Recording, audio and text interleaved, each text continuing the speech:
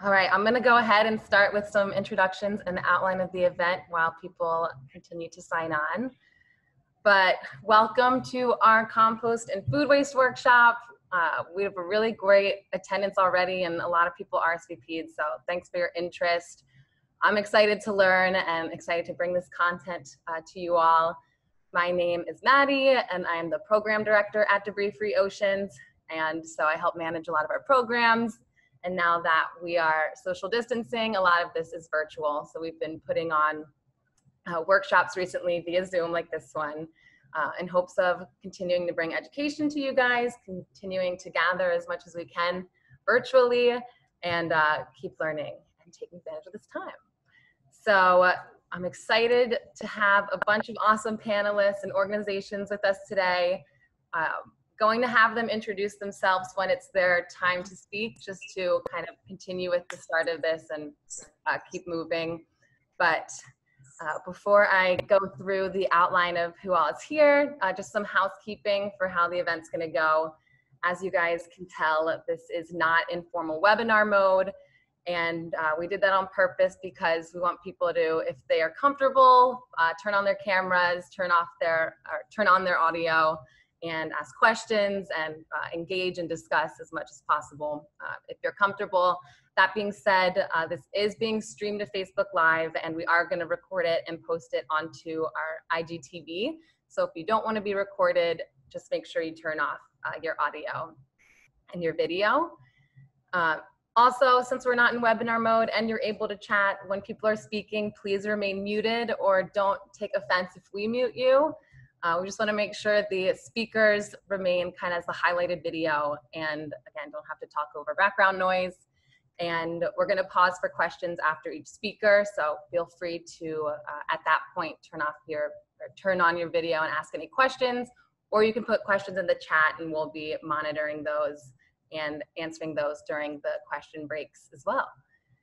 And then also wanted to mention that the slides are going to be emailed out to everyone at the end of the presentation and there are linked resources. So don't feel like you need to take a ton of notes. Uh, just enjoy it and we'll send this content out afterwards. So for the outline of the event, um, I'm gonna start with just a little bit of information about food waste, especially here in the United States, and then uh, hand it over to Sanna. She's with us from Miami Beach Botanical Garden just going to talk about their community compost initiative and just dive into a little more of the science of composting and why it's important for the environment. And then we're going to have a bunch of different speakers, well, four people go through varying levels of complexity of compost that they use in their backyards. Hopefully you guys can connect with one, find one that feels right for you and try it out after this workshop. And then finally, we have Julie with us from della bowls and the Yard, who's going to talk about uh, composting, not composting, meal prep, and also fermentation and food storage so that we can uh, stop this food waste from the source with our management of our foods. And then we have a Kahoot quiz, a couple of questions, see if you're paying attention. It's fun and interactive, so stick around if you wanna do that and the winner of the quiz will win a free Debris Free Oceans reusable bag made from cotton and also reusable straws. So, um, like I said, I'm gonna have the panelists introduce themselves it's their time to talk, so I'm just gonna jump into a couple of introductory slides and then hand it over to our experts. So just a quick background about Debris Free Oceans. We are a 501c3 nonprofit and we're dedicated to eradicating marine debris through engaging local communities to responsibly manage waste. Um, so that being said, a lot of our programs, one of the big popular ones are our cleanup initiatives where we do beach cleanups, scuba cleanups, kayak cleanups. Um, and so we get to get out there and show the community the problem firsthand, engage them with being a part of removing it, but then also educate them about ways that they can stop this pollution at the source. And we also educate schools uh, within schools directly. So we'll go and visit schools throughout Miami-Dade County and give presentations. We've actually educated over 8,000 students in South Florida and do virtual education uh, like this. So if you're a professor tuning in, please reach out if you want us to visit. And then uh, we also do sustainability consulting. So we'll work with businesses to reduce or eliminate uh, plastic waste from their businesses. So if you're a business, also feel free to reach out. And then I just wanted to include this slide here that has our mission statement, uh, inspiring local communities to responsibly manage the life cycle of plastics and waste as part of a global initiative to eradicate marine debris. And I bring this up because a lot of our work and a lot of the work of other uh, organizations on the same mission really focuses on plastics. And that's because I like to call plastics the perp or the perpetrator. They really are the some of the worst type of debris we have out there just because they're made from oil, they persist forever. I could go on forever.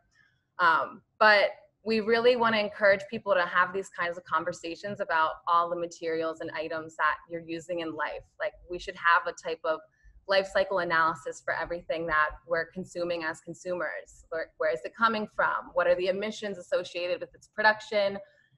How is it when we end up using it? Is it good for us? Does it last a long time? And then at the end of its life cycle, where does it go? What does it do there? Is it cycle back? Does it let uh, persist and have harmful impacts? We need to think about that with everything that we're using. And so today we're considering that when it comes to food waste. So again, excited to be having this conversation about food waste. Then just a couple of statistics about food waste in the United States. Uh, every year we throw out the equivalent of 1,000 Empire State Buildings of food waste. And that's actually the equivalent of 30 to 40% of the US food supply, which is crazy. Uh, just bringing this down on a person to person basis, that equates to about 219 pounds per person per year and about $1,600 per family per year. So it's a lot going to waste. And it's just kind of crazy that we have all this food going to waste, but also simultaneously have high levels of food insecurity in the United States. So these figures are from the US Department of Agriculture showing uh, food insecurity over time hovering at about 15% in the United States. And then this figure on the right actually divides it into uh, socio-demographic groupings. And I think it's important to point out that this food insecurity disproportionately affects Black and Brown communities. So when we're talking about food waste, when we're learning about it, this is something we need to consider and make sure that we're raising awareness about and considering when we're looking for solutions. And then quickly, uh, just a touch on greenhouse gas emissions. I know Sanna's going to go into this a little bit more, but uh, I thought this stat was pretty astounding where um, for global greenhouse gas emissions, about 25% of that is from food, and that can be food production and food waste. But then within that 25% for food, 25% of that is from food waste emissions that equates to about 6% of global emissions being due to food waste globally, which is crazy. And I also wanted to point out briefly, so this figure is from Feeding America and it shows food waste generated in the United States by um, different sectors. And I feel like it's really easy to kind of blame big supermarkets and say, oh, this is probably coming from these uh, uh, yeah, consumer facing businesses they refer to here from supermarkets. But as you can see, actually 43% of this food waste in the US is coming from homes, which when I was reading about this, I was like, oh, that really felt like a sucker punch. But I think we need to think of this as exciting because by educating people about ways to be more responsible with food waste, we can actually have a really huge impact just as home consumers alone. So that's exciting. Uh, I think I have two more slides.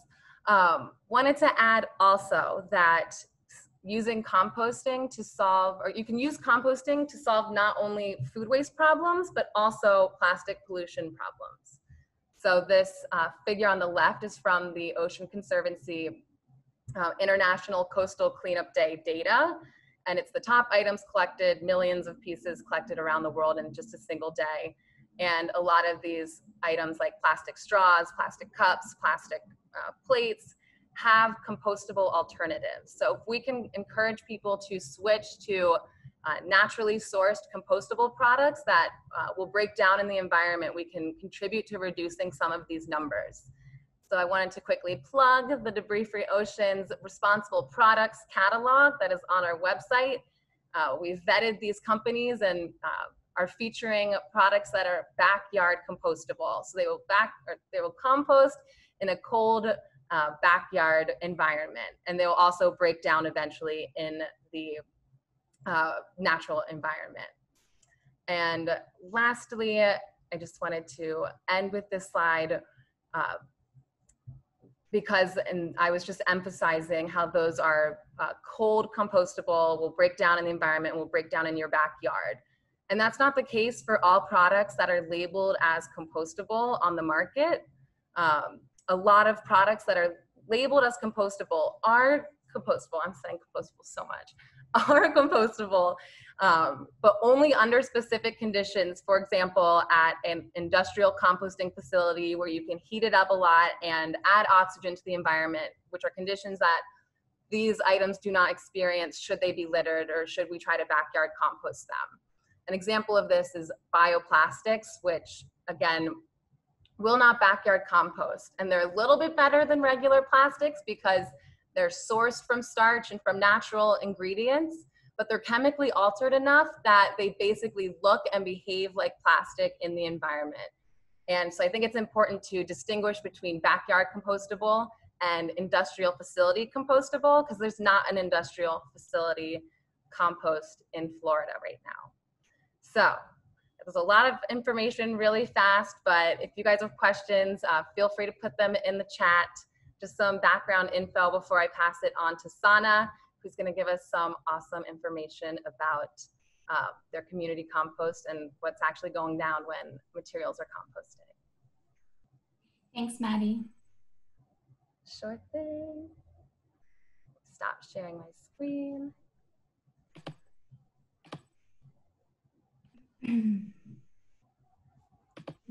screen. Hey everyone. So my name's Sanna Sullivan. I'm the head gardener at Miami Beach Botanical Garden.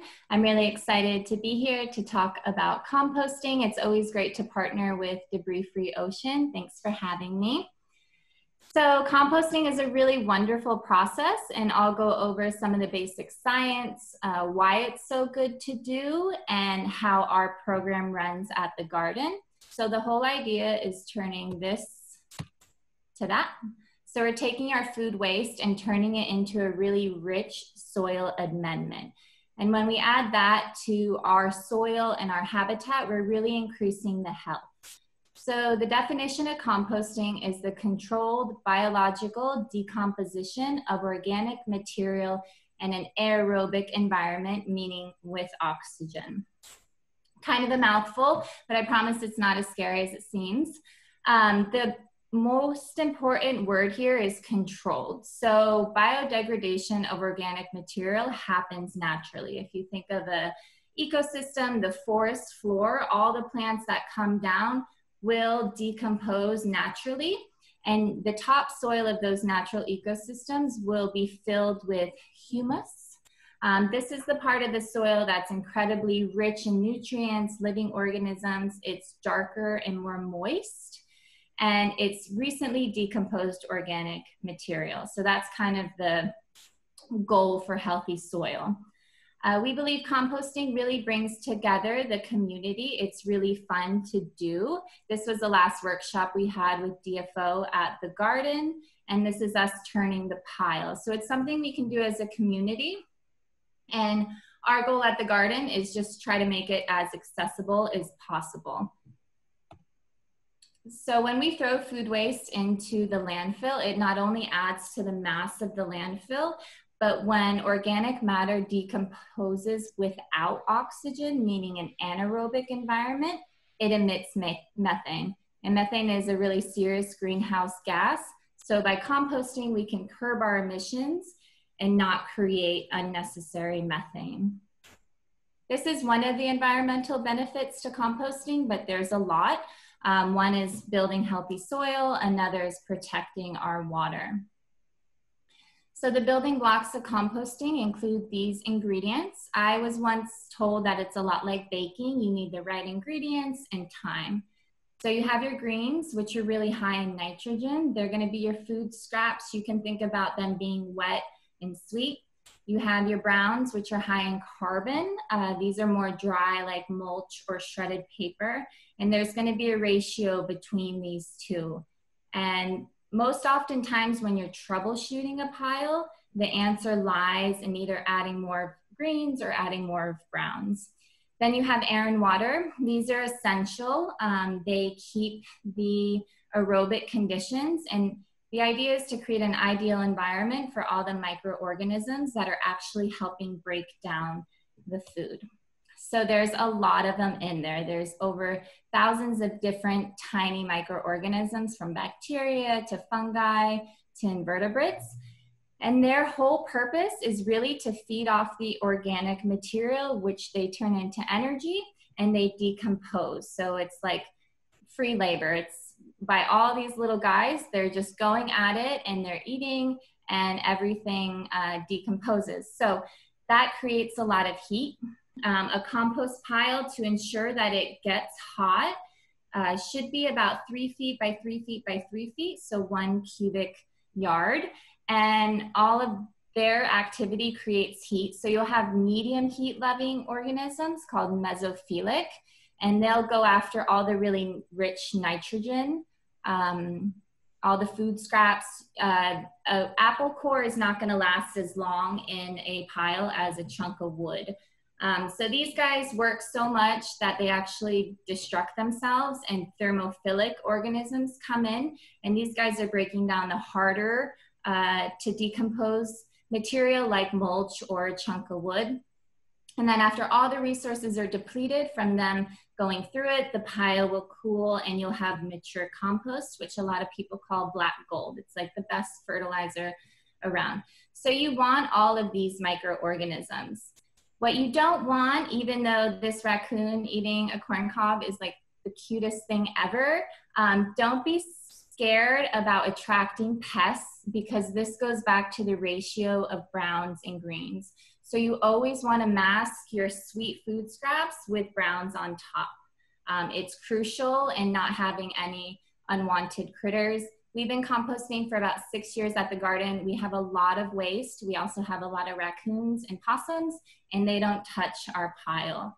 Um, so that's important to know and not be worried about. So we're going for the closed loop system where waste is eliminated.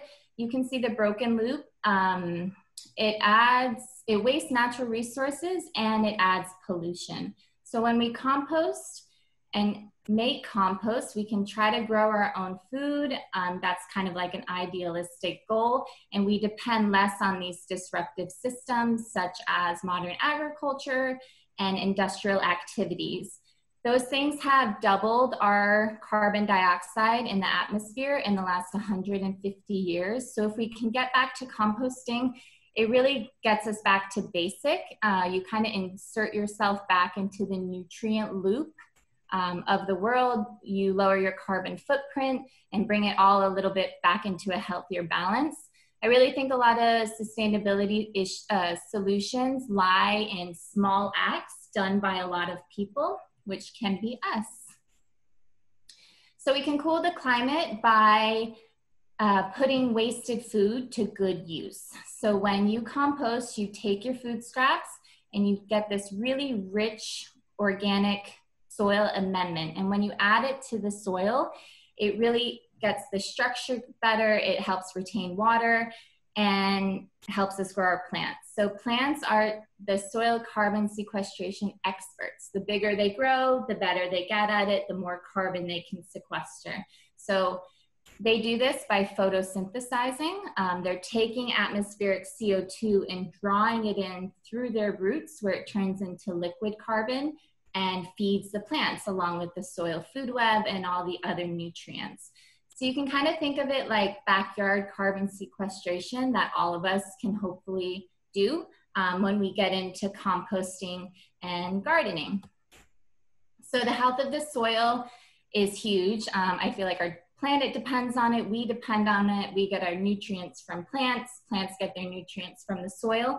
So it's really important to have healthy soil. And since compost directly adds to the health of the soil, um, we can really increase the soil carbon and other benefits. So healthy soil uh, retains water, which lessens runoff and pollution and flooding.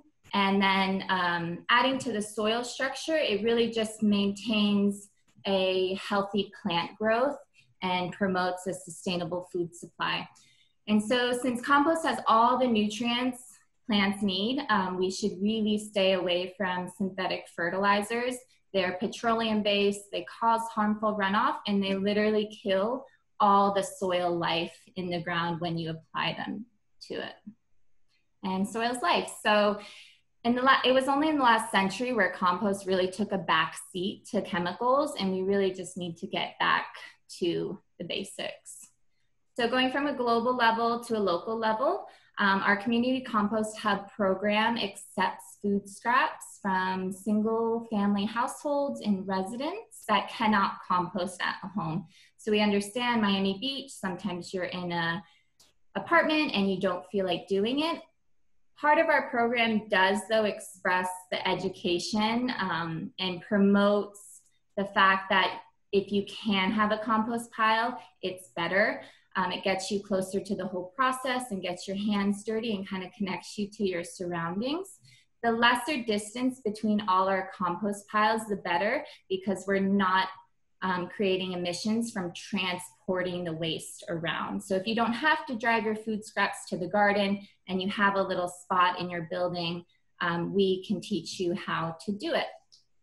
Coming soon, we have another hub opening, which we're really excited about.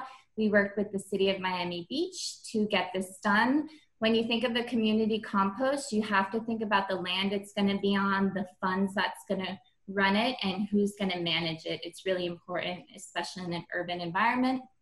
Our compost advisor is Cassidy Fry from Gardens and Composting. He's extremely knowledgeable about the process and he's a great teacher so you can connect with us online um, in these accounts. This is our space. Um, we have four stages. Stage one is the drop off. Stage two is when the pile is really starting to heat up. Uh, we turn these piles about once a week. Um, stage two, all the bacteria is attacking the nitrogen, like I uh, said before. Stage three, it's starting to cool down, but there's still a lot of high fungal activity. And stage, and they're attacking the carbon, harder to break down material. And then stage four is pretty much mature compost. Uh, we spread it around the garden on a weekly basis. We sell it in bulk and we also sell a potting mix we make with it. The garden is closed right now, but we are accepting drop-offs through this gate over here. Keep in mind that that might change because we have this impeding COVID testing site and 19th Street might be closed and then we'll totally be blocked in. So that is why we're working to get the North Beach one open. And since we'll see a lot of great examples in the next couple speakers about how you can do it at home, I think this flowchart's a really great way to realize that there's a lot of systems and you'll find the one for you. So I'll leave this up for about 20 seconds and then I'll hand it over to Sofia and any questions if you guys want. Thanks.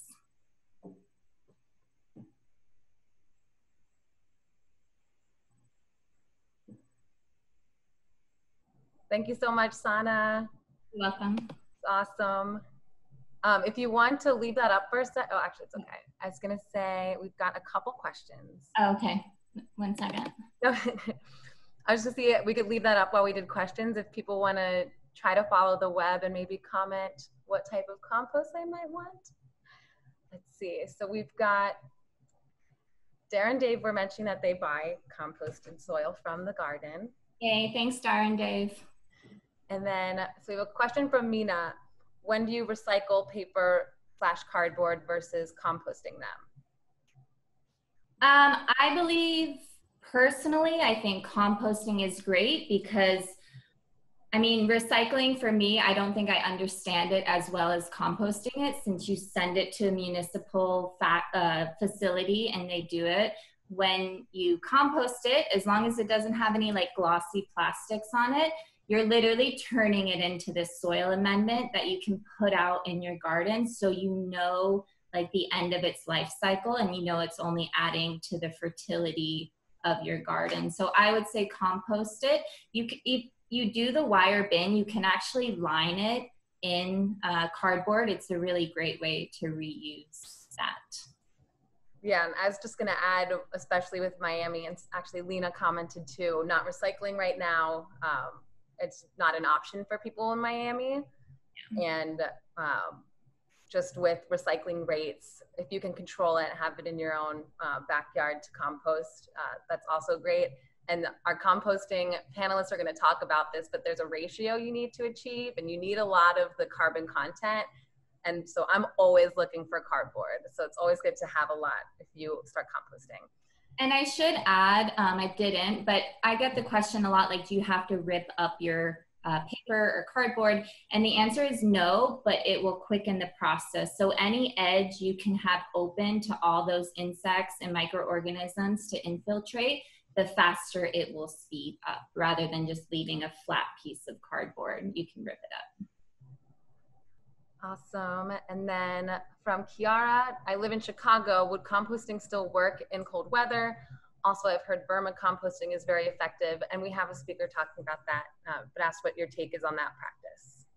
So, you would be surprised how hot a pile could get in the middle of winter just because of all the micro uh, microorganism activity. So I've never composted in a cold environment, though it's kind of on my bucket list, but I do believe it's um, very possible uh, just because of the activity it contained. Um, it'll get hot.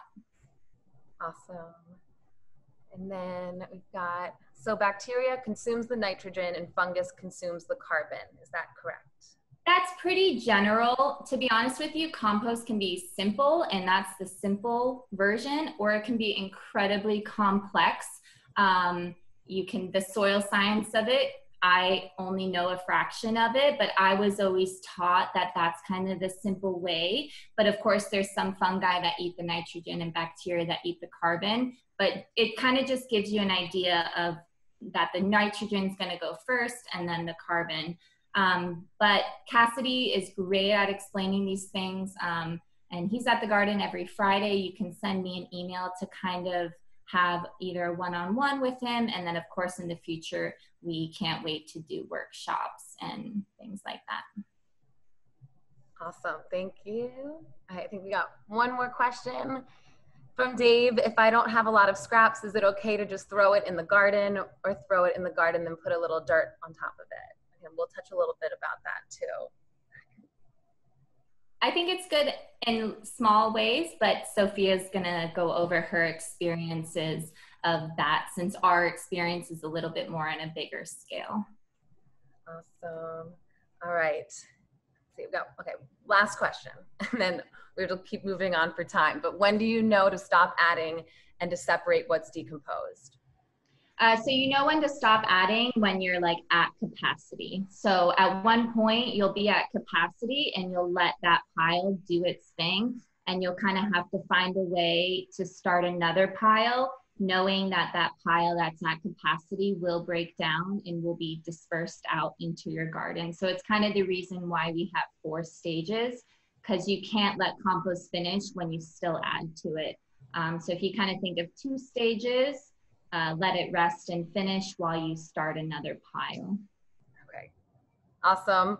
All right, we're gonna keep going just for the interest of time. Luis, I saw your question and I know some of our other panelists have used a countertop composting bin, so they might be able to provide some advice. So that being said, we're moving on to the section of a couple of our panelists talking about their own backyard composts. Um, we're gonna have Sofia talk about, I called it strategic scrap placement when I was originally outlining it but composting in small spaces. Um, and then we have Shannon and TJ from MORAES, South Florida. Uh, like I said, kind of moving up in complexity, but they're all a little complex. Um, with Shannon and TJ talking about just their backyard bin in the backyard. And then we have Caiti, our co-founder of DFO, talking about a rotating tumbler compost, which I also have and I'm learning. And then we have Lina talking about a worm compost. Awesome. Thanks so much for the intro, and I'm excited to be here. Um, hello, everyone. My name is Sofia. I am also with Debris Free Oceans. I oversee the internship program for college students. I'm also a college student myself and live in a dorm most of the year, so that's kind of why I've become the strategic scrap placement expert, according to Maddie. um, so, definitely don't have a backyard or access to a lot of space full time, so that's kind of why I've had to lead into this method a little bit. At home, I actually have a backyard tumbler, but that's only, you know, in the summertime. So I'm just going to talk a little bit about ways you can utilize compost and decomposing processes while not having a full garden or backyard to put scraps in. So first off, I just want to talk about overall tips. Um, I'm sure these are kind of a little bit more general. And as you start to compost, which I highly encourage each one of you to at least research what method would be best right right after this session um, for you just personally. Uh, definitely recommend freezing your scraps. So, in terms of collecting your scraps before actually putting them anywhere for the compost process to happen. Um, if you store scraps like in a small apartment or a small dorm room, you know, rotting food tends to smell a little bit, but putting them in the freezer in an airtight container or even just a paper bag, that oftentimes just helps slow down the rot and stop the smell if you don't have an immediate place to take those scraps to. Um, and then this is kind of the bulk of what I'll be talking about today, but burying your scraps in pots and in soil actually works. I saw Dave asked about that, but that's something that I've been doing just on and off for a couple years now, and I've had some really interesting surprises come from it. From it, basically, kind of like the end all be all, and Sanna touched on this a little bit, is if you give scraps and food waste the right conditions, they will break down, they will replenish the nutrients. Some versions of composting obviously accelerate that process. If you have more heat, it happens faster. If it's like a just an environment with like optimal ratios and a lot of sunlight and a lot of water just to keep it all damp, um, that's also ideal. But really, any food scraps, any food waste, if you toss an apple core, you know, into a potted plant, it will break down. It just may take a little bit more time than having it in a compost tumbler or other methods like that. Also, something I highly recommend, depending on your area, you may have compost drop off sites available. So, again, I know some people are from different areas of the world right now and of the US. So, definitely just look up, you know, what city you're in, compost drop off site. And you may be surprised. There may be a local community garden and even just local farmers at farmers markets if you're able to attend them, you know, safely.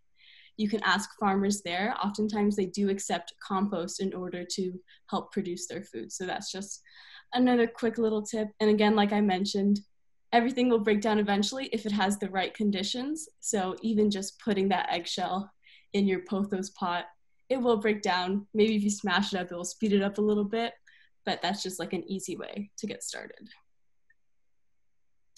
So again, I mentioned that some interesting things have happened. These are some potted plants in my home, in my backyard. So even before having a compost tumbler, I would do this at home with just like potted plants and soil that I had access to. And I had these plants spring up so on the left-hand side is actually a very small papaya tree.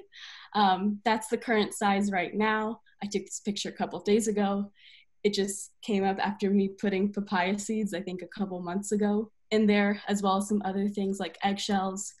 Um, and it hasn't produced fruit or grown very much, but that's the current size, which is really exciting. And it just happened completely unintentionally. And on the right hand side is like a squash plant. And that later it eventually died. But it was just really cool that things were breaking down things were happening. It was producing a plant of some kind. So just goes to show that even composting can just make your thumb a little bit greener. So this is kind of a success story. This is about a papaya tree that i did not realize until i would say like a couple of weeks ago when i was just looking in the front of my yard and i found this very new tree sprung up and it actually had as you can see in the left hand picture a lot of papaya on there. So that also just happened from natural processes of me putting food scraps in my front yard my parents yelling at me for it but now we have a papaya tree producing actual papaya as you can see in the right picture. Um, these were actually too green. We cut them down early um, because some squirrels were getting at them so we thought they were ready but they weren't but you could still cook them and make a kind of dessert that way so that was just interesting.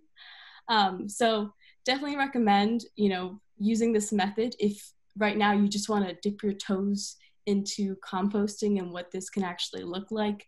It could be the smallest of pots, just putting in, you know, those uh, strawberry tops or whatever fruit veggie scraps you have. Especially, I would say coffee grounds and eggshells. Those are actually really good to use as fertilizer for potted plants in your homes. So, kind of what I just want to end um, this is kind of a brief presentation talking about the most basic way of composting and reusing these organic scraps was to just rethink what you have a lot of. So you can think of it kind of like a waste audit.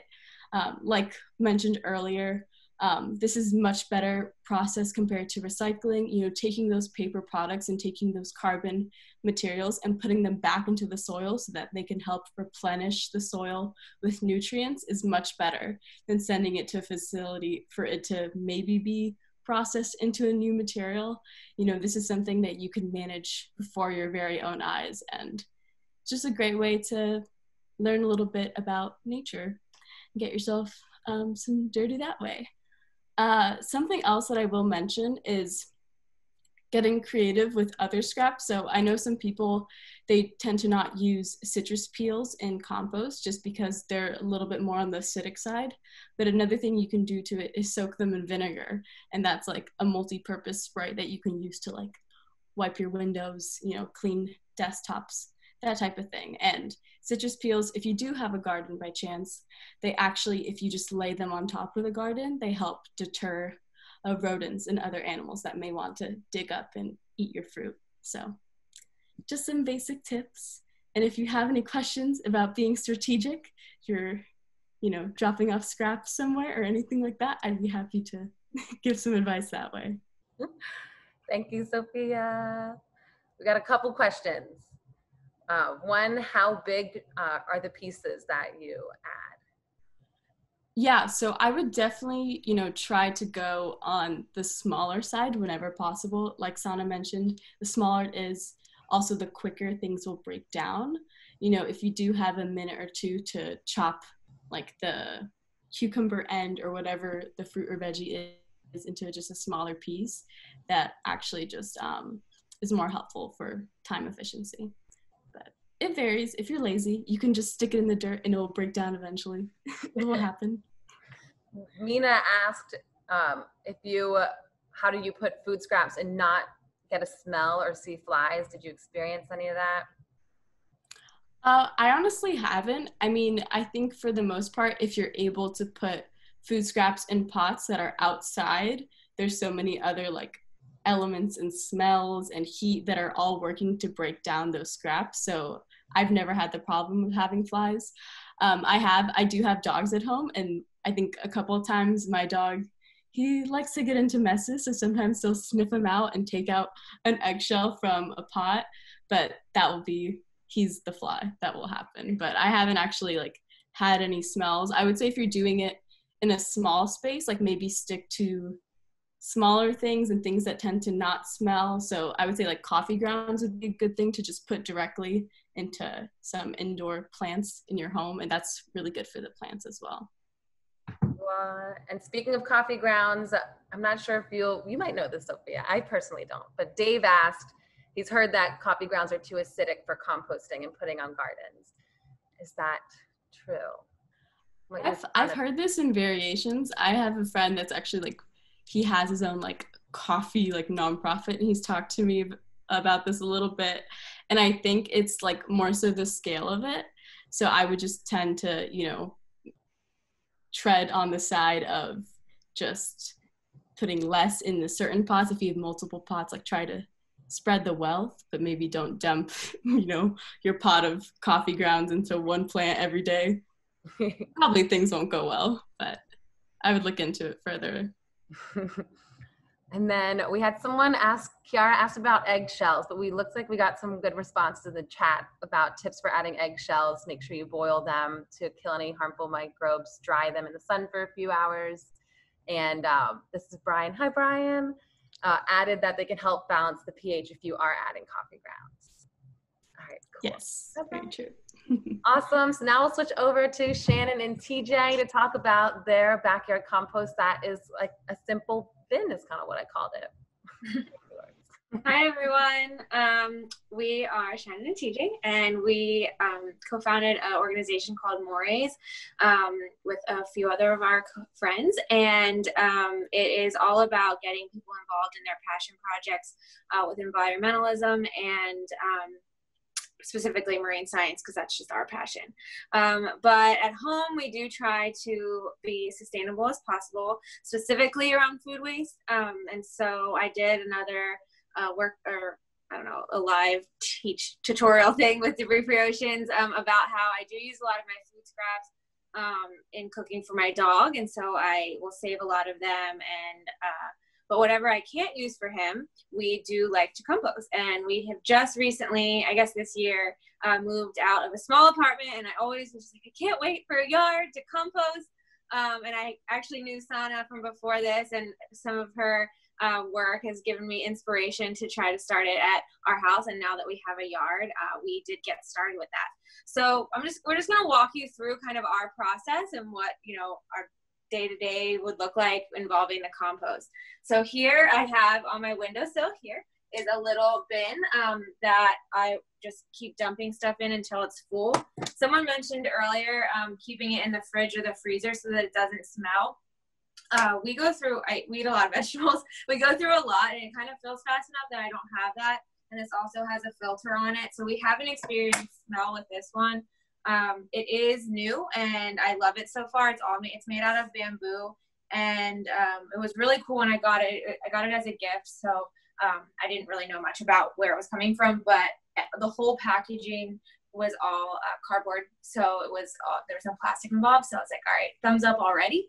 Um, and so this just sits on our windowsill, and we just add throughout the day, and then once it gets full, we bring it out to our compost. So I just want to show you a little bit of some of the stuff. Uh, we were talking about coffee grounds. I I'm the only one that drinks coffee in this house, so usually just a little bit every day. Um, eggshells for sure. I have tea. Um, I have banana peels. And so I'm just about to put some, I had Brussels sprouts for dinner. So I just left some of this to show you that that's going to go into the ends of the Brussels sprouts. I don't really feed my dog. So it's going to go in to the compost. And now it's full. So we're going to bring you out to the uh, backyard to show you where or put it. And we're gonna get to pass my gardens, which I'm obsessed with. My quarantine hobby has been trying to garden, and I do use my compost um, in my garden, so I'm really excited about that. Some of them here, some gardening. So I'm gonna uh, pass it over to TJ when um, we get over here because he kind of has taken this on as his little project back here, which works really well for me. I'll just do the cooking, give him all the trash, and he deals with it. So cool. Hello, everyone. TJ. Um, so I was just going to walk you through the process that we've kind of taken over. And full disclosure, this has been a learning process. I did not do as much research as I should have in the beginning, which is why I was super excited to uh, get involved with this so I could learn a little bit more about it. But uh, we started, we, we moved into this house and it has the two bins. And I think Sanna was mentioning that you kind of work on one and then the second one is the one that you have the compost in so you're just constantly going back and forth between the two. Uh, but as someone mentioned earlier they're not doing recycling for miami. So we had to make an adjustment. So we took all the compost and we put it in one side and then we took all of our cardboard and paper material throughout and we put everything here in the left. As you can see it's basically just paper and cardboard and boxes and we have been uh, very fortunate enough that so far, even though they haven't collected recycling, we have not thrown one piece of recycling in the garbage since quarantine has started, which is something we're really proud of. Um, our recycling bin is very full of aluminum right now, so it's, it's getting close. But since this has all began, we've just taken every paper product that possibly can go into the compost and we've thrown it in here. And so far, it's worked out really well. And Oh. full disclosure, and we might look like we have a shopping problem, but we have been receiving a bunch of gifts. Um, so it's not because I have an addiction problem. All right, so take this. First thing I'll do is I'll come over here and lift up the lid here. Shan, you can show what it looks like in there. Uh, so it's a it's a good mix right now of, of both. So what I'll do is I'll take this nice bin and I'll try and spread it out. Throw some of the stuff around there. And then once that's empty, close it up. And then I will go over to the left side and I will get some paper products. And I'll just take some of this. What I've just been doing is basically just ripping up the pieces and just throwing it in there. And the basic idea is for every organic material that I would put in there, I've just been making sure that I put an equal or, yeah, I guess, equal value of paper products inside. And so it's pretty easy for me without knowing any of the science to know that when I open up this lid on the composting side, if it does smell or if there are bugs, I'm off on that ratio that they were mentioning earlier. So it's usually meaning that I just need to add more of the brown dry carbon. So I lift it up. If I see flies or if I notice any odor, I immediately just start ripping stuff up and throw it in there. And if I want to, when we get a box, I'm sure over here, I basically just take the box that normally would go in the recycling that they're collecting and I'm just placing it in the left side to be used for whenever we can. I'm sure everyone's familiar with the infamous Amazon box, so it goes right in there. And once I done, once I'm done, I rip. Once everything's ripped up and I have a nice clean coat of dry carbon stuff over top of the compost, I close everything up. I go in, and then by tomorrow, this cute little bin will be all full again, and we repeat the process. And hopefully, uh, you know, we'll be able to give some of our recycling soon. But in the meantime, all the compost we've been making, we've been just using around the garden. So there's Shannon's basil, so we'll just throw some in there. We'll throw some on whatever vegetables and stuff we're making. We'll throw it around our mango trees or our papaya tree that was intentionally put there, not accidentally via compost. and it's been really nice to uh, to have that just option to one get rid of our trash, but two to actually be able to use it in in the yard on our day to day lives. So. Um, The other thing that has been really helpful is when it rains, we lay the cardboard out so that it gets wet and soggy, Mhm. um, and that helps it break down, and we rip it apart um, when that happens as well. yeah, it's been super. So anytime it rains or if I see it's going to rain, I'll come out here. It's just easier to rip the cardboard when it's wet and I can get a bunch of pieces. If I want to just rip it ahead of time so that if I'm in a rush or there's an evening where I just, I don't have time to keep that ratio even, I already have a bunch of ripped cardboard and I just throw it on top and just move on. And it, it takes care of the process naturally. It's been really, been really fun little project for me that I've enjoyed since we started. Awesome, guys. Thanks. We've got a couple questions. Sure. Let's see. Uh, someone asked about your container that's from Bamboozle. So also, I'm going to follow up and copy and paste a lot of the resources people are putting in the chat uh, in our follow-up email as well. So I'll do that. It is the from Bamboozle. filter on there is key and it has a little bit of a, a sealant so that if it does It's start tight. to get you know odorous it actually clicks in a little bit so it's not just placed on there which is beneficial if you're going to keep it in your kitchen all day Yeah. I can't claim to know like how it's sourced and where it's made because it was like I said, it was a gift. But so far, I'm very happy with it, and I'm very happy when I opened the packaging. I think I texted Maddie right away, and I was like, "There's no plastic in here." And then someone added that this isn't a question either. I swear there are questions, but somebody added that they actually have two bins, one for their greens and then one for their browns. That's something you guys, people could consider. And then question from Luis. He is wondering if he should or should not use one of the compostable bags for the countertop composting bins, um, the cornstarch based one. Which So- actually, yeah, go ahead. oh so i would say i it's i'm i was excited to pay attention to this one because i have been on the belief to compost everything if it's somewhat in my opinion a paper product i've thrown it in there but i have noticed that some things are left in the compost when you're done and so when i, I find stuff like that then i go okay this is not compostable. I remove this and then I know for the next time. So I've been going more through the trial and error process, but definitely excited to keep going with this because then I'll know without having to go through the mistakes myself what to not put in there. I was gonna see. I don't know if Sanna's still there right now, but she, when we were talking about this earlier, she said, uh, "Yeah, Sanna, is that the green compostable bags that we were talking about?"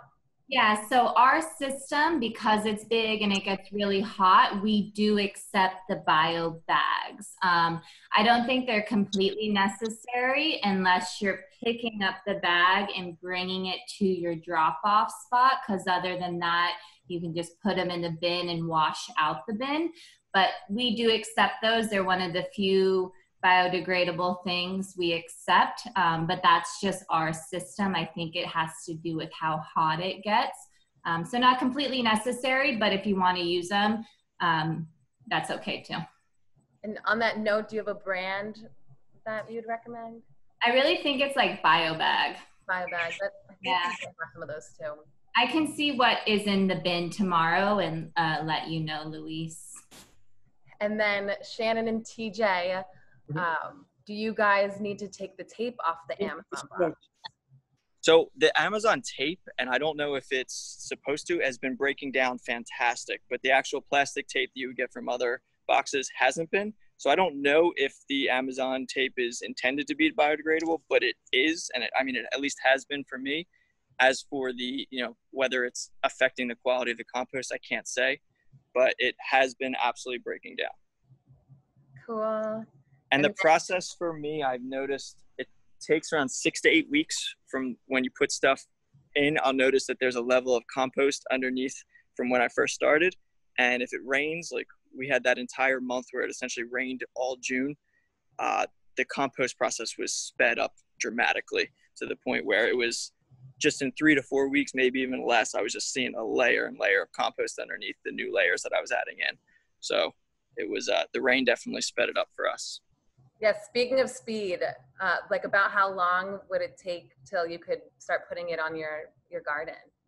Yeah, I would say it, it's misleading because if you look at it, it doesn't look like it's ready because you're, you know, we're constantly adding stuff on there. So I'll put some, some vegetable, you know, the, the stuff, the scraps from our kitchen and we'll throw the comp, uh, the dry carbon on there and you'll go, it's, it's not ready. It doesn't look good. But if you go and actually put your shovel underneath there or twist it up, you'll notice that directly underneath is a layer and it is good. So it may not look like it's ready, but it, you, you'd be surprised how quick it is. But I would guess anywhere from that six to eight week range is, is a good time frame. But you know, come out here every couple days, mix it up, see what you're, um, see what you have, and you'd be surprised that once you have the process kind of going, it tends to, to go a little bit faster, in my opinion, as well. And sometimes I'll notice that my plants kind of look like they need a bit of nutrients, and I'll just go through and I'll turn it, or I'm gonna Kim turn it, and then I siphon it out. And so any of the big chunks, like an avocado core, um, it takes forever. Onions Um, a little longer. Some things take a really long time, so we'll siphon it out. We'll leave the chunks in, and I'll take some of the good nutrient soil just to sprinkle around um, some of the plants that look look like they need a little bit of extra love. cool. Um, well, I'm going to switch over to the next panelist now, just in the interest of time. Uh, wanted to Yep. add that Brian said that the uh, tape is actually biodegradable, but the shipping labels are not. Thank you, Brian. ah, but yeah, right. for showing us that, guys, and I'm glad it's working out for you and you've started to use it in your garden. yeah, it's been awesome. Thanks, Maddie. Uh huh. So now we have Caiti, the one of the co-founders of Debris Free Oceans. She has a tumbling compost. So I see someone mention that in the chat about a compost crank. Um, so she's going to talk to us a little bit about that and show us her tumbler. If she's here. Oh my gosh, she just requested to be admitted. She must have gotten kicked out. She's almost here. Let's see. Caiti? There she is. Hello, can you hear me? Yeah. Okay, Yes. sorry about that. Uh, Zoom kicked me off right before coming on. So, um, welcome to my backyard. This is my compost bin. I use a tumbler. Um, I'm also just going to kind of walk you guys through the steps that I take, um, going from kitchen to compost. And one of the things I really wanted to stress though was I basically had the amount of information uh, before starting my composter that you all will have at the end of this workshop. And I just decided I'm going to go ahead and start doing this because I was on maternity leave and I had some extra time. We all have coronavirus, we have some extra time. So I encourage you, the time is now. You have the knowledge, you have the time. Um, so I decided to go with this tumbler. And similar to TJ and Shannon, I keep this little bin on my kitchen counter and I have different scraps that I throw in here, um, just whatever I've used throughout the day. Um, and I come out here and add it to my tumbler. So the cool thing about the tumbler um, that I have, there's two sides. Um, one is kind of made for that curing compost that you are not adding any more scraps to anymore. And then the other side is kind of that continuing on compost, adding more food to that side. Um, so I actually recently just cured both sides um, and used some of my compost the other day. So I'm going to leave this one as the cured one, and then I'm kind of restarting this one with some scraps. Um, so I just take them, I go ahead, I pour them in the little jar here. Um, and one thing that I will say is I thought this thing's small, it's gonna fill up, you know, I eat a lot of fruits and vegetables. The amount of time it takes to break down this food to make it so small, I was so impressed. It really made me realize like we are sending so much massive amounts of food to the landfill that can't break down because it's in an environment without oxygen that's just piling up and piling up and piling up when I've been throwing food in here for months and it shrank to be so small and then I can put it on my plants. So I thought that was really cool, uh, just kind of watching that process. Um, but anyway, so I put the food scraps in there and then essentially what I do is I just find some random palm fronds that have fallen around my yard. They're constantly falling. Um, in addition to the cardboard or, you know, those kind of paper egg containers, uh, things like that, I'll add them as the browns. Um, I just literally pick up the palm fronds from my yard and I take scissors and I just cut and add little scraps of brown into my compost bin. And that has ended up working really well for me because it's kind of almost like shredded paper already. Um, so I've really enjoyed using that. And then it's not like these palm fronds go, you know, a lot of people stack them up on the side of the road and they get also taken somewhere like a dump or something. Not necessary. So once I do that, then I close the tumbler and then with some strength, I turn it around a few times um, and I do this every few days. Um, and this kind of aerates it and does what um, basically stirring your compost would do. And then you have it kind of all mixed in there. I'm going to show you guys what the cured side looks like just so you can see. Um, and again, kind of like TJ and Shannon, I did this trial by error.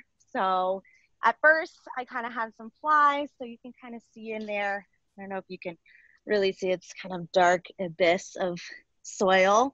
Um, but I did trial by error and um, I had a lot of flies at first. I was like, oh no, I'm doing this wrong. I just needed to add more brown. I feel like if anything gets stinky or flies, add more brown. I always kind of defaulted to if something's going wrong, add more browns because if you think about it, a brown can sit in your yard forever and nothing's going to happen to it. If you throw a mango in your yard, it's going to get rotty and nasty. So if things are going awry, just add more browns. Um, became kind of my go-to. Um, and once I started doing that, it was great. Um, I would give it regular sniff tests, um, which people would come over when before coronavirus, and I would always take them out to the compost and be like, look and smell it. It smells amazing. So one of those things that, you know, I was kind of intimidated to start because I was like, it's gonna smell. Am I gonna get bugs? Am I gonna get pests? And I just was like, you know what? I'm doing it. And none of those things happened. And they won't happen to you either. Um, because it's really not. Um, I feel like I was intimidated about it, so I just want to encourage people to not be intimidated and just start. And it's simple and fun and so enlightening at how much food waste can be shrunk and used for something good. Um, oh, I had one other little thing I wanted to share. Um, so if you look down here, this is a mango tree. Um, I think you can see this. Um, so when you start composting, you make compost friends. So um, someone that I knew was started composting and they put mango seeds into their compost bin and they started sprouting. Um, so he gave me a bunch of them. So I planted one and then I actually yesterday used some of my compost around it and it's looking very healthy. And so I'm very excited. This is my compost mango tree.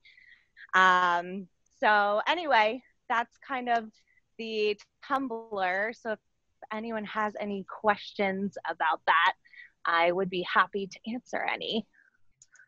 Thanks, Caiti. So we've got um, Anna asked how long it takes to use. So I guess how long it took to get some soil. So I'll be honest about this. Um, I really wasn't sure when my soil was done um, because I was new to composting. So I kind of waited a while to see if my compost kept doing anything else. so I think it takes about two to three months once you stop filling your bin. But I waited a little bit longer because I was just curious like is anything else supposed to happen um, but after a while of it not changing and me doing some research and realizing that if it smells like dirt and it looks like dirt it's done um, then i realized that it was done so um, i don't think that's a great answer to your question um, but i would say about two to three months once you fill it up awesome yeah i have a tumbler too and i'm I'm still working on it. I got it maybe two months ago and it's not quite there yet. Um, and it actually surprisingly takes a while to fill. Um, and it, it, you know, it really lasted for a while with me filling it and because you start with both sides, especially. So. And someone asked if that takes care, uh, this from Taima, if that takes care of all of your food waste. Yes. Mm-hmm. Yeah, no problem, for sure. And since it has the two sides, it's it's got plenty of space and then you kind of rotate between side to side. Cool. And then someone asked for your particular composting bin, your blue guy, if that, uh, what brand that is, so they can uh, look that one up too, what size and brand. I'm not entirely sure what brand, to be honest. I just ordered it off Amazon, which probably isn't the best place to order from. Um, but I did a, I did research and people recommended it that it was a good one. So I again analysis by paralysis. I was like, okay, just do it. Um, so you might want to do more research and uh, into that, but um, I think this is a pretty standard one that you would find on there. And then I'm gonna do one more before we switch. Uh, TJ asked, and I'm wondering this too, do you use paper products with colored ink like cereal boxes? Um, yes, I have, um, and they work just fine. The thing that I've noticed about some paper products is that they are lined with plastic. And when I'm taking that out of my compost, I will notice that there's like a plastic lining that I'll have to remove. Mm-hmm. Um, but I also encourage you, I kind of used my compost bin a little bit as an experiment to kind of see how different materials react in the composter. Um, you know, so uh, I sometimes get surprises in there. and then, sorry, I know I said one more, but someone just asked how it would be on a balcony. Just quickly. I think that this would work fine on a balcony. Um, it's actually pretty small. Um, it's about, I think, I want to say like two feet by one and a half feet. So it really doesn't take up much room. And like I said, it really doesn't smell um, or attract anything. So um, I think it would be great on a balcony, actually. It would work perfectly. Awesome. And then someone asked about worms, but I'm going to hold that thought because now we can have Lina talk to us a little bit about her worm compost. All right. Thank you. Yeah, thanks, Caiti. Hi, well, thank you so much. I am so excited about sharing this with you guys. Uh, let me share my screen right now. All right. Okay, can you can you see my screen? Yeah. Okay, perfect. So my name is Lina. Uh, I have a blog uh, called Minimalina uh, that turned into a podcast eventually, and I talk about minimalism, uh, how to reduce waste, reduce con- unnecessary consumption mostly. That's the part of min- minimalism that I'm very interested on. Uh, and eventually, I started very interested in, in, sustainability, which led to my current career change, which is uh, I'm getting a permaculture design certificate. So I am very in love with everything that's being said here. I've been composting for so many years, and you'd be surprised the many things that you learn every single time from different people. Uh, these are some of the things that I have at home. Uh, I have I run a rogue composting uh, community uh, com- community composting from my house where people come and drop off their scraps in my uh, composter here. I started one from pellets, so that's here at the bottom. And very recently, I started doing worm composting for for fun because I love this. so we're going to talk about this. Um, as Sanna said earlier, there is a huge difference between soil and dirt. And like this meme says, one does not simply call soil dirt. It is not. Soil is a dynamic, natural body composed of mineral and organic solids, gases, liquids, living organisms, which can serve as a medium for plant growth. So Soil is essentially infertile dust uh, that does not retain water and nutrients, um, and dirt is uh, basically a living organism. And these organisms are fungi, bacteria, insects, nematodes, and worms. And so um, we're going to focus on worms today. We're going to talk about how they help re- recycle and reduce waste. One time, Charles Darwin believed that humans could not survive without worms. So this is a really cool quote that says it may be doubted whether there are many other animals which have played so important a part in the history of the world as have these lowly organized creatures. They're very, very important for the infrastructure of our ecosystem. So water worms. Worms are not insects, they're annelids. And these annelids are uh, hermaphrodites. So in theory, they could um, uh, inseminate themselves, but because nature is so amazing, their DNA needs diversity, so they will still mate with other um, worms uh, in order to share this sperm. And each adult will create one cocoon. And by the way, there are 5,000 different species of annelids alone. So depending on the species that you're working with, you will get one worm or 12 per cocoon. In this case, these are the red wigglers, which are the ones that I have here in my bin. That's right behind me and um, I get 12 for every little cocoon.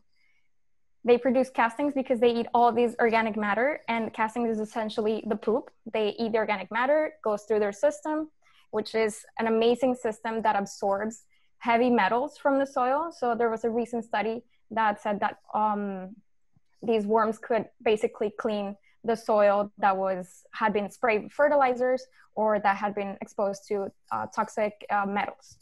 So that was a really cool thing about them. And then it stays in their system, but the castings don't have any of that that they absorb or the toxicity that they absorb. Castings are their poop and they're really amazing and rich in fertilizer. Oops. Do I just go? Oh, yes. This is a graphic that's basically self-explanatory, but I still want to um, kind of make the analogy of how the system works uh, similarly to our bodies. So our bodies have microbiome, and essentially you could live of chemicals at some point, but it would not be sustainable for your body. Uh, you have many organisms that require the types of nutrients. And I like to make the analogy to the earth's, to the dirt and the soil, the living soil, as the earth's microbiome. So if these organisms in, in the soil are not um, nourished and in a sustainable way, then it's gonna die and you're gonna get the dirt that we talked about, the soil. So chemical fertilizers only target plant nutrients, nothing else, and the microorganisms kind of go somewhere else or they die, they're non-existent. With organic fertilizers, you create organic matter, it turns into soil nutrients that feed microorganisms, and eventually plant gives plants their nutrients. So that's the more sustainable way to work, go about uh, fertilizing. So here are some setups. And you have to consider these setups in order to how much space you have. What's your real estate and you know how much space you have for putting these? What's your demand on fertilizer? So for some people that have a lot of plants and perhaps a small yard with a lot of plants that they need to fertilize often uh, i would recommend something like upcycling this tub.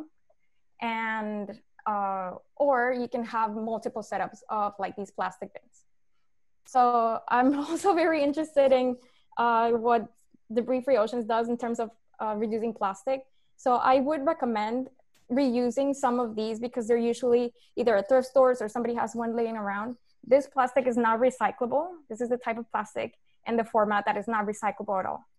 So if it's in the trash or in the thrift store and it's not being upcycled, it's definitely going to the landfill. And it's pretty easy to set up. You can get bins. My first bin was this little yellow bucket. And some people that are very, very talented, they can make them out of wood or you can buy one, you know, there's commercial ones that have this little spout. And I'm going to talk about that little spout towards the end of the presentation, which is coming up. And there are other setups that, that are easier to manage, like this tube that goes straight into the, the ground. Um, let's see. Okay, so where do we get these worms? I got mine from Uncle Jim's Worm Farm, and you get them in that little bag via mail. Uh, but because I was just ready to jump in, it was just like the, the it's the most most popular way for you to get worms from. But there are two local uh, uh, farms, I guess, that that have them. The Fertile Earth Worm Farm is in Davie, and I just messaged her to make sure she is ready to ship and is available for that, and she is. So uh, she does ship them. She's local here in Davie. The worm, worm Whisperer, he's here in Miami, and he also has worms uh, for you to purchase. And to start, I would recommend 500 for a book uh, bin like the one I have behind me to a thousand if that's how you're starting.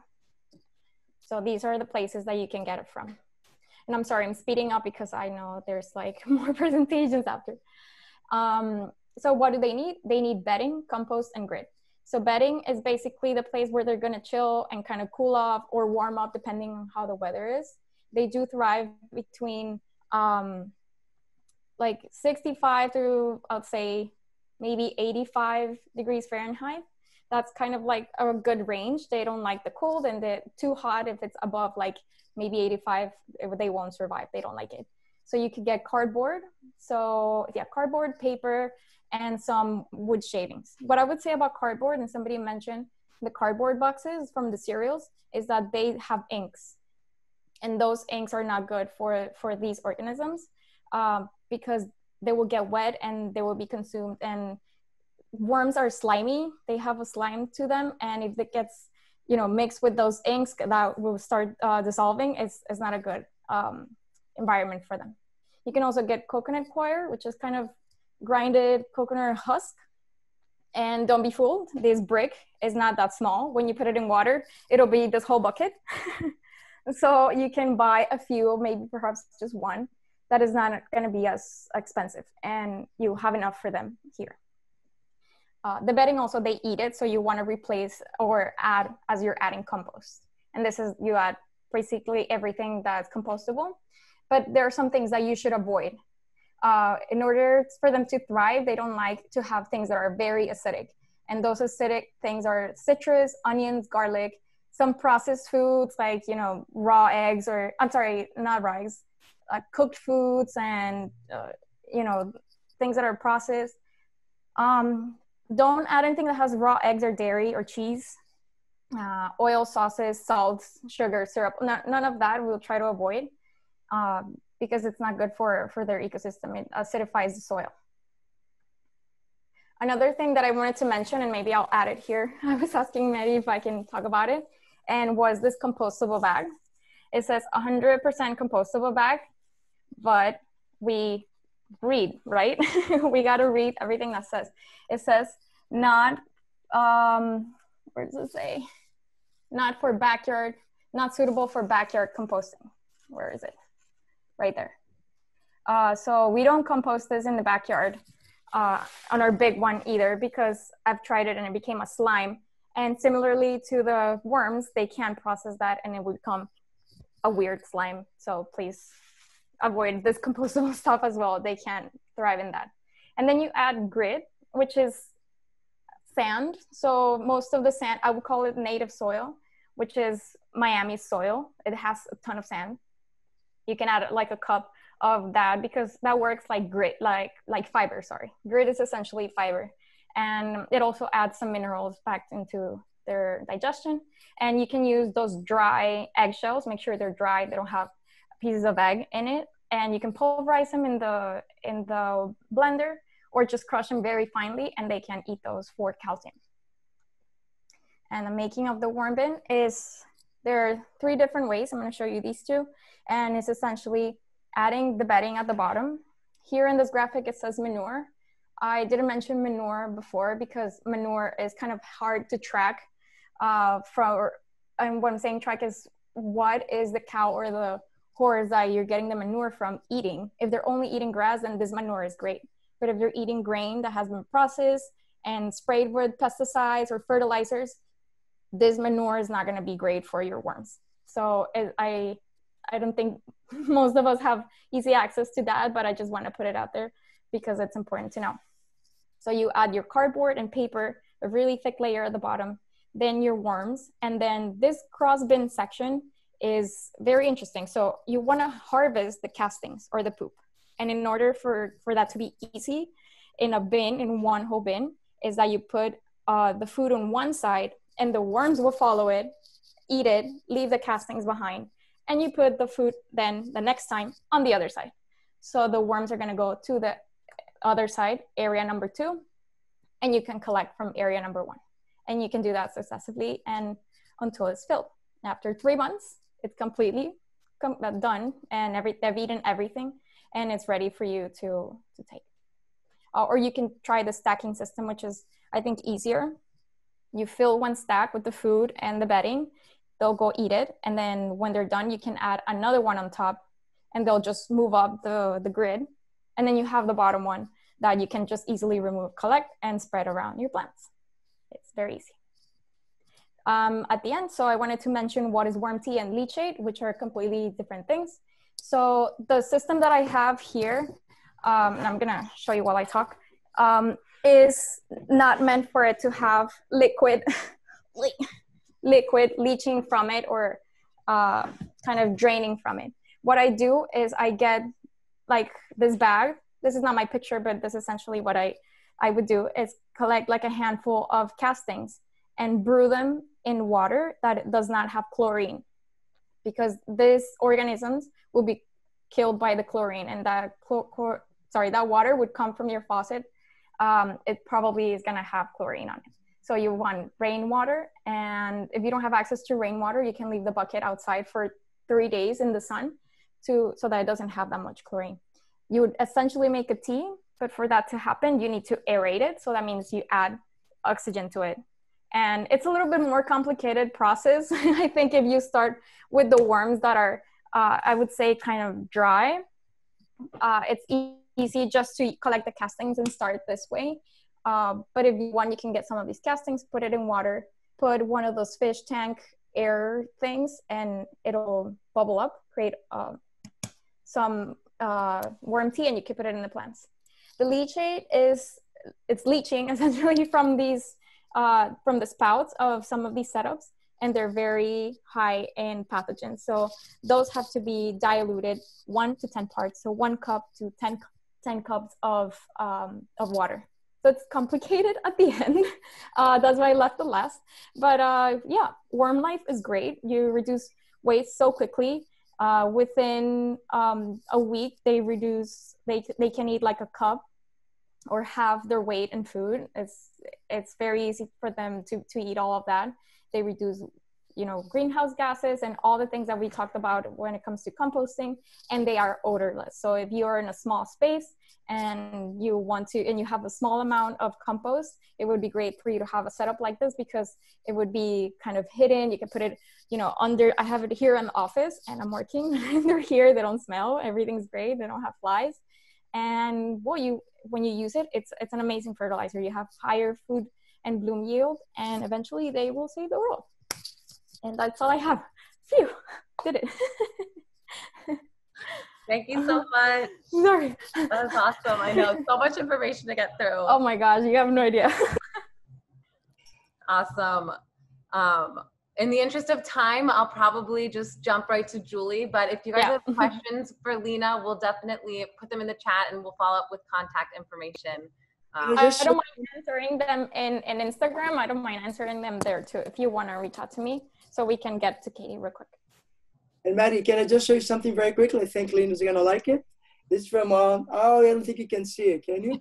I used to work uh, a worm composting uh, project in Santa Cruz, in California, in 1990, 1992 or so. So oh I- my goodness. Anyway, I thought you liked that. oh, cool. Thank you. That's awesome. Vintage. cool. Well, thank you guys so much for sharing the diverse ways to compost. And there's definitely more. So you want to check out that uh, flow chart that Sanna has in her slides. But now we're going to transition to tackling food waste from the source by uh, managing our food better in the first place when we're consuming it. So I'm excited to have Julie here to talk a little bit about uh, meal prep and food storage and whatnot. So, Julie, you want to share your screen? Uh, actually, I'll just say hi for a little bit. I'll share my screen um, at the end. Um, so thanks for having me, Maddie. I'm Julie with Della Bowls and the Drill Yard and what used to be the Wynwood Yard. And I miss you guys and doing our amazing community cleanups. So we'll look forward to doing that more in the future. Um, I will have a lot of information that I may not have time to go through on here, but I will be posting a blog post on dellabowls.com uh, in the next couple days that also reiterates a lot of this information. So um, be sure to keep an eye out for that if you're interested. Um, but I loved hearing um, Lina talk about, um, you know, adding to the microbiome of the soil because the soil is so important when you're talking about food and vegetables and where your food comes from. Um, because you're you are what you eat, but you're also what your food eats. And so if you're eating vegetables that's grown in really crap soil, they're not going to, you know, have the same kind of nutrient makeup as something that's grown in really amazing nutrient dense soil as you would with compost. And so, you know, when you talk about buying local veggies or from farms or like knowing where your food comes from, it's not just about like where it was grown that it was local it's actually that those farmers are probably using great compost soil and so those vegetables are like really nutrient dense. Um, they're going to taste better and they're going to be better for you and they're going to really make a difference in the um, microbiome of your gut when you're doing um, you know really using great soil. So we have a garden uh, a whole side yard garden and food forest that um, I'm so grateful we have Little River Cooperative helping us with. And so we know that they're using that black gold in our garden and that our food is like the best of the best of the best that we feed our family. So, um, so with that, I wanted to say, in terms of reducing waste in your kitchen, I think the most important thing you can do is just be really mindful and deliberate about your food um, and like planning. It's basically looking at the whole process of shopping, uh, of planning, shopping, producing, uh, preserving, and then composting at the end. So, um, so we really want to just like look at it as a holistic process.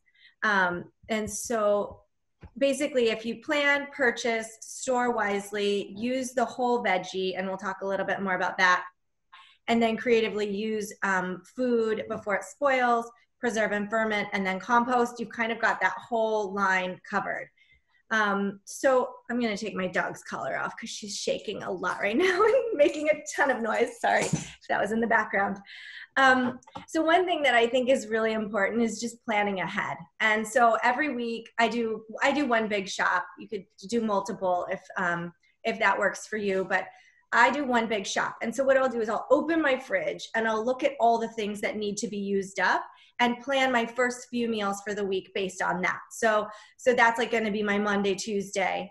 Maybe Wednesday, Thursday I'm getting more into like the new items. So that's where I'm planning ahead and shopping for those those things. I like to really um, see what's growing locally also, so I try to plan as much um, in that route as well.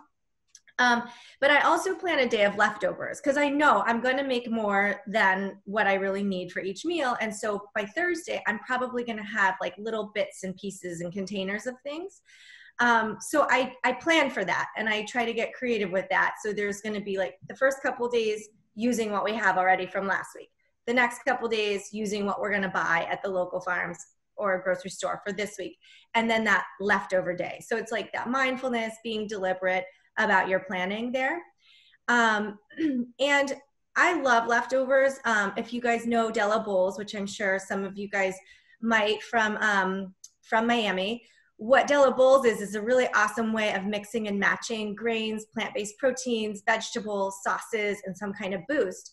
And so, if you can learn how to, um, you know, kind of create these bowls using leftovers, that's also a really fun way to um, to eat your leftovers and and make it really tasty and fun and different each week.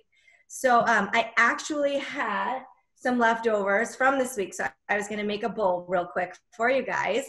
Um, and so I was going to talk a little bit about this before I go on. Um, I have some couscous from last night, and I put it in this pickle container because we always get these containers, right? And so many people throw them away and it's so tragic. I use these as my Tupperware as long as I can. So I have my couscous from last night.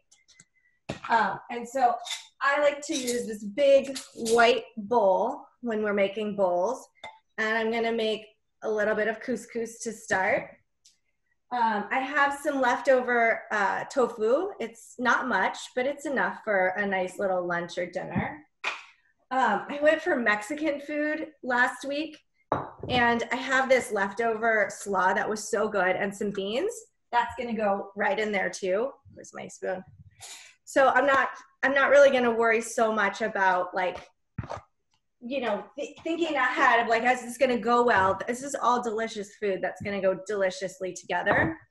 I also have some cumin roasted farm carrots gonna add a few of those. I thought they were so good. My kids didn't love them because they put cumin on them. Maybe it was a little too much for them. I don't know. I thought they were delicious. Um, so that's my bowl so far. I also have these yellow tomatoes from the garden with some cilantro. I'm gonna add those right in there. So you guys are getting the picture. If you know Della Bowls, you can see where I'm going with this. Um, and then I like to keep some good sauces in the fridge. So this is not something I made. It's just like a store-bought carrot ginger miso dressing. Give that a little a little whirl like so. And then I was at this other farm today and they gave me these beautiful microgreens. So that's going to be my boost. I didn't I didn't buy any, but it was so nice she gave those to me as a gift. So basically this is my leftover bowl which is like from a few different meals, but you could see would be just an amazing thing to have for lunch or dinner. So don't be afraid to use leftovers. And if you just like put them in these kinds of containers and keep them in the fridge, you can really like mix and match a whole bunch of stuff through the week. Um, another one of my favorites is fried rice. That's probably the most predictable. I also like curries, so I'll take all the vegetables and maybe dump a can of chickpeas in there, add some coconut milk and some curry, let that simmer and put it over rice. Um, and then of course you can just like throw it all together as big salads. That's also pretty predictable, but um, but getting creative with those leftovers is really it. It becomes something that if you just like deliberately save that day for the the leftover day, you you can start developing some of these fun um, combinations um, so that's kind of like the planning, the purchasing, the storing is really important too. So um, not everything needs to go in the fridge and take up space. Sometimes we like shove everything in the fridge and then food goes bad because we can't see it. Um, but I like to keep, you can see behind me here, whoa. I like to keep um, some stuff out. So this is my bowl of fruits and onions. Um, I don't usually keep berries out, but I was gonna talk about those. I always keep tomatoes out here on the uh, on the counter. And did you know cucumbers also you can keep out, which is a new thing I just learned. Um, melons, of course. And what's important to know about storing food on the counter or the fridge is that certain foods really release a lot more ethylene gas, and those ones are going to ripen the other foods around them a lot faster. So, like avocados, bananas, um, melons, certain foods, which I'll list um, when I when I post this blog. But there's certain foods that ripen other things faster, so you can keep those together but separate from the rest of the things. So the things that go in the fridge, like the berries, the greens, the herbs, the things that are going to be more uh, quick to spoil, are also those items that are more susceptible to the ethylene gas. So um, so don't think you have to store all fruits and vegetables in the fridge. It's not true. Keep them out where you can also like really monitor and manage them and see when they need to be used. And when they need to be used, go ahead and use them. Um, you can always look up recipes if you're like confused about, um, you know, I've got a zucchini and a green onion and a pepper to use, and I can't think of how that would go together. Like you can Google it and throw them all in a curry or a taco or something like that. So uh, it'll give you some creative um, motivation if you really just like base your meals on what's what needs to be used. So the other thing I love to do with food that needs to be used is um, ferment. And so Dave Dobler, you asked if we're fermenting beer. No, we're not making beer today. Um, so again, I'm using like my old jars to make these ferments. These are dilly carrots. Um, the recipe is up on our blog. And this most simple way to ferment food is just with salt and water. It's super, super simple. I took these carrots, I cut them up, I did not peel them. Um, I stuck them in the jar and I put in two tablespoons of salt, sea salt, kosher sea salt. And then I filled it with water. I put in some dill and I put in some garlic. Um, thank you so much to Radiate Miami and Susan for teaching me how to do this. Um, it's it's so simple and delicious and such a nice way to use vegetables when you have too many of them. These were some turnips that I got from our garden a few months no a few weeks ago and they were just sitting in the fridge forever did the same thing with them and they're so delicious now um, you can also like preserve foods by making jams. You can make sauces. You can make soups and freeze them. That's a great way to preserve also. And um, I freeze a lot of food too, which is why I kept out the berries. So sometimes I don't get to my berries fast enough. You know, I'll have these in the fridge and then next week they're all soft. Not moldy, but like soft. So I just freeze them and then use them in smoothies in weeks to come. Same with bananas. We always need frozen bananas uh, for smoothies. Um, so those are just a few things to do, like keeping an eye on your vegetables and fruits, using them when they need to be used. And if you can't use them, think about pickling, fermenting, freezing. And then one other thing I wanted to just show you um, before I go is, oh, two other things. This is one of my favorite ways, let's see, to use vegetables that are going off. This is a gazpacho.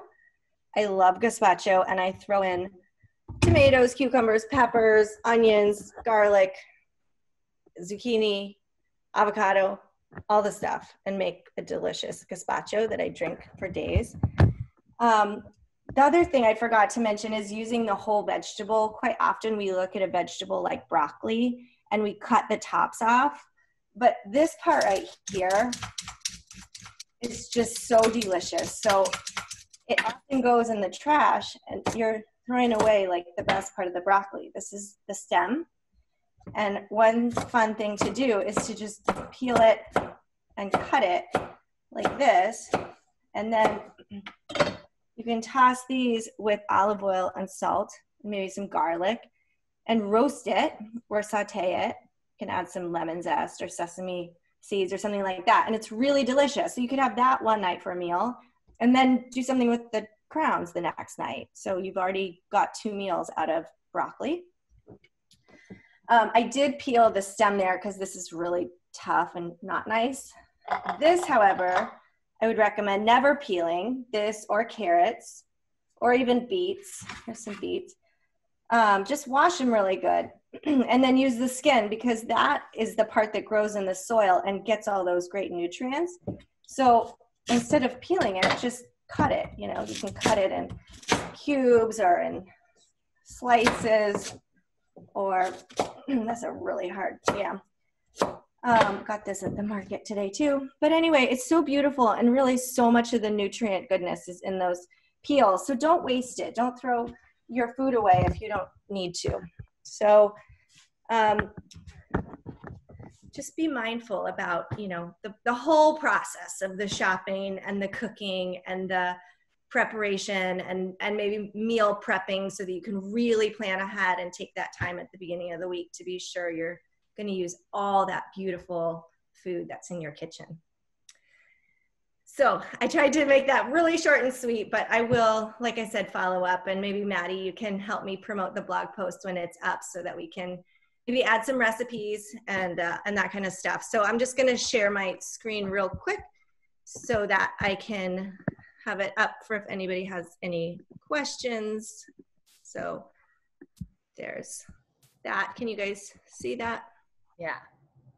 Okay, cool. Yeah, thank you so much. We'll definitely, when we follow up with the slides and everything, I'll link to the general blog. And when it's posted, we can share that on social too. I'm Okay. excited to read it. This is like definitely, I'll admit, I am really, really bad about food waste and shopping like wisely. And I, this is, I need to improve here a lot. And now's a good time to do it. Yeah, so Maddie, we have a cookbook, um, which I highlighted here. Um, and so it's on our della bowls site, and that information will be in the slides also of where to find us. Um, so you can order della bowls, but you can also learn how to do that meal prep um, for your own home kitchen and make those different kinds of categories to mix and match. So we, we have that for you guys too. Let's see, and we've got uh, a question. Is it true that once fruits and vegetables are pureed, they lose their nutritional value? I always make two days worth of smoothie at a time to save time and cleanup, but I fear my second day smoothie is not doing me justice from Sarah. Um, I used to hear that about juices. Um, I'm not really sure about smoothies. I believe that if it helps you make your life easier and it works for you, then do that. I do it all the time. I make giant smoothies. My kids like drink half of them. I pour them all in a container and put them back in the fridge for tomorrow. Um, like with their names labeled and so to the next day i'm like here you go save me time we didn't waste any food and I, I don't know i wouldn't really worry too much about it not being it's still so good for you you know it's great And Katie asked if uh, fermenting is basically what uh, you do to make pickles. No, it's not. That's a good question. So for pickles, um, pickles are more like you boil vinegar and water and maybe sugar and salt um, and herbs and spices, and you take vegetables like they're great with cucumbers, obviously, but like cauliflower and cucumbers and carrots and celery. But you cut those vegetables and you pour the um, vinegar liquid, the hot liquid over it, and then you bring it to room temperature, and then you can store it in the fridge. Fermenting is when you actually just use like a starter or salt and water and leave it on your counter for like weeks. That's uh, the idea behind sauerkraut or kimchi. It's just, it sits there in the room temperature and ferments. I love making kimchi. I really need to share my recipe with you guys for kimchi. I, I like, I'm obsessed with kimchi. See, and then Luis asked if you use or like the green bags to increase vegetable and fruit life. You know, um, we don't usually keep fruits and vegetables long enough um, to really worry about their lifespan. Like everything in my house gets eaten within the week. Um, I cook a ton, so I ha- I can't say that I really have that much experience with it. I, but I think that that's also goes along with that, like planning and purchasing deliberately because I know exactly what I'm going to use and in the order I'm going to use it. So Awesome. Anyone else have any questions for Julie? I know, we're running a little late, but we had a lot of really awesome content to cover, and you guys really stuck it out for a long haul. So I'm glad you all stayed, and uh, hope you learned a lot. And again, I will follow up with a really wonderful email with the slides, with links from the chat, with contact information for the panelists. I got a lot to do tonight. and Um, and this recording will be available on Facebook Live. It will be posted to our IGTV maybe by tomorrow. And then uh, I'll also send out a Dropbox link with the video file as well. So let's see, we got anything else? Yeah, just a bunch of thank you, very helpful. Um, I did have a quiz prepared, but it is 840. So maybe if you want to do the quiz, say so in the chat, or should we just do it? Um, it's a little late. Oh, Katie wants the quiz. oh, Sofia wants the quiz too. Okay, we're doing the quiz, guys. I love the enthusiasm. Some of the questions are from many, many minutes ago when I started. So we'll see what kind of memory you guys got. All right, so I gotta share my screen. This is through Kahoot. You don't need the app, but you will have to log on to a website on your phone. So if you have a phone available, oh yes, there is a prize, Katie asked. it's one of our reusable bags, which I actually have right here. Might not be able to see it with the smart screen. Fun little bag with the DFO Octi and some reusable straws. So I will share my screen. And go to our Kahoot quiz. All right, so I'll hit play.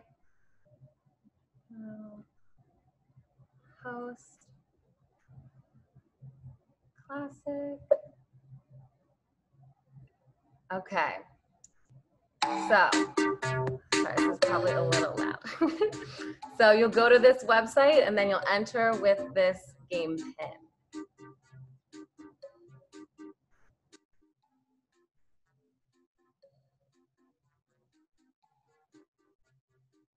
We've got Kiara, Kiara and Mina signed up so far.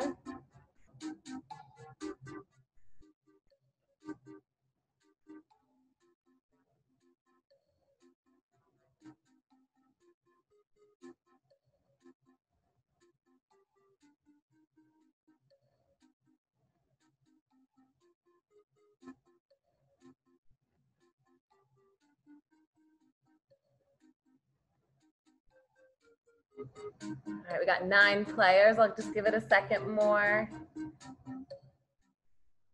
12 players. Awesome work, guys.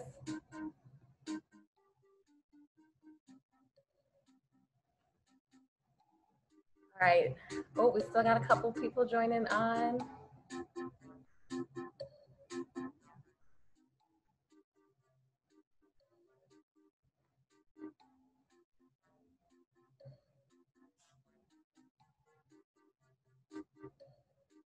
All right, I'm gonna do a five second countdown and then we'll start the quiz. Write in the chat if you're encountering technical difficulties. Five, four, three, two. Oh, we just got another, okay. Five more seconds. Five. Oh my gosh, TJ just signed. All right, I'm gonna give it a couple seconds longer because we're still getting a few people. Oh, and TJ asked a while back in the chat, do dogs, or what's the deal with dogs attacking rotating compost? Because my roommate's dog relentlessly attacks my rotating compost every time I compost. So if you're considering that, um, you might have to lock your dog out of the backyard while you tumble. Okay, Oh, we lost a play. All right, I'll start now.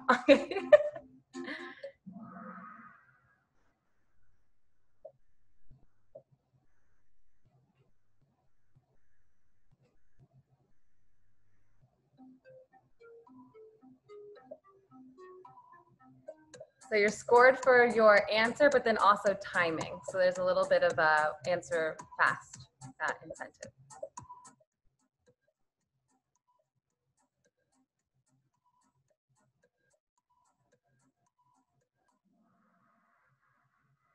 Correct answer is 220 pounds. Good job.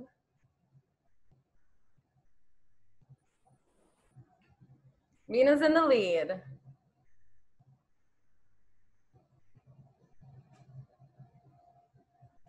I can read these out loud also. What percent of global greenhouse gas emissions come from food losses and waste?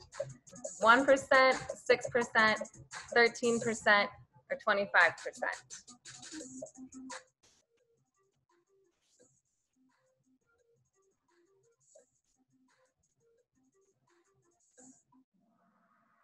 Six percent, good job. The tricky 25% was for just food in general. That's the 25% of global greenhouse gas emissions. Oh, now Dave's in the lead. Let's see.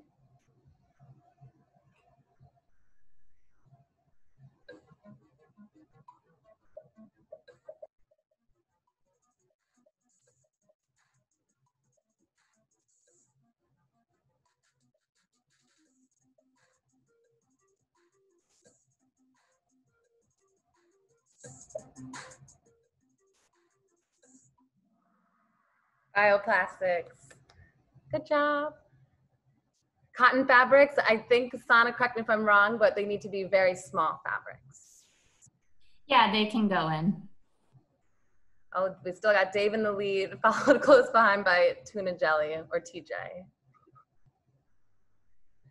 In the US, what percentage of food waste comes from homes?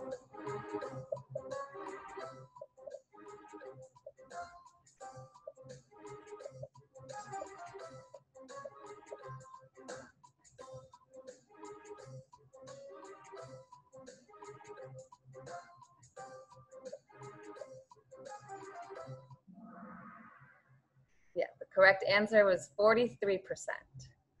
So almost half.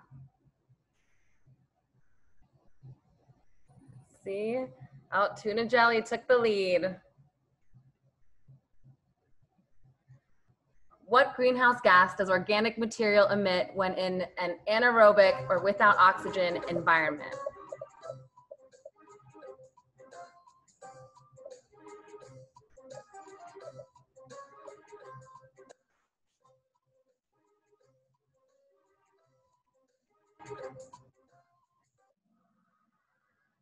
Yeah, methane's the correct answer. Good job, everyone. Tuna jelly is still in the lead. Mina's making a bit of a comeback. What is an example of a nitrogen-rich material you can add to your pile?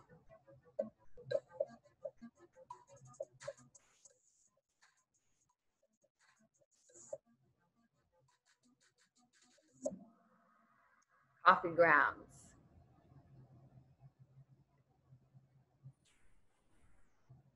All right, tuna jelly still in the lead, but it's still a close. It's a close quiz here. Got a couple more questions.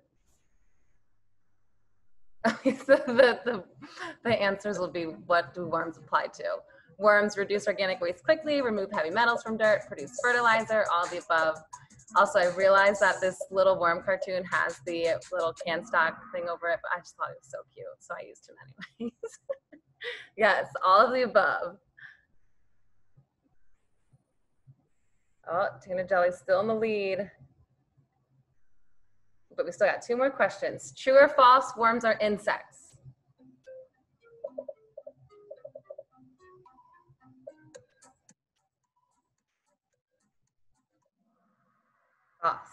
They are annelids.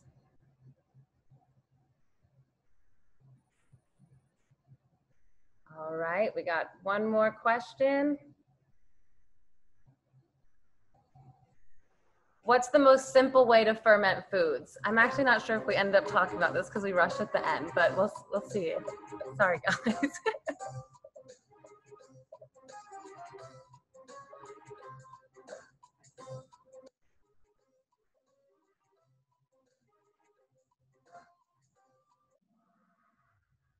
nice. Six of you guys got it. Lactic fermentation. Um, Julie, if you're still here and you want to explain that real quick, I apologize. We kind of rushed at the end, but let's see who the winner is.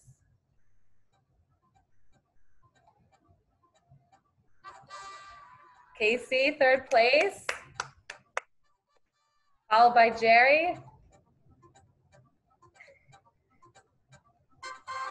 Oh, Mina. Good job. Tuna Jelly fell out of the lead there. Congratulations, Nina. You win the little goodie bag, which is our a reusable tote, and a set of two reusable straws and a reusable straw cleaner. Congratulations. Maddie, I'm here. I was eating my bowl. Um, but I um I'll include the fermentation stuff in the blog. I realize I totally rushed through so many things, but lacto fermentation is the answer to that one. Cool. Yeah, so for more information about that, tune in to Julie's blog in the next couple days. Well, congratulations, Mina. If you want to send me your email real quick, Thank I will reach so out to you after this. Yeah. We never went over lactic fermentation. I had the answers to every other one. It is unfair. I went from Oh. first to fourth with one question. All right, I will give with- you a bag. No, thank you to everyone. This was actually really cool to be a part of. Thank you for organizing it, Maddie. yeah, thank you guys. Everybody, that was so fun. Thank you. Thank Tuna you. Jelly out. Bye. Thank you, Maddie. This was awesome. Yeah, thank you guys for participating and for tuning in till the end. And yeah, panelists couldn't have mm. done it without your experience and expertise.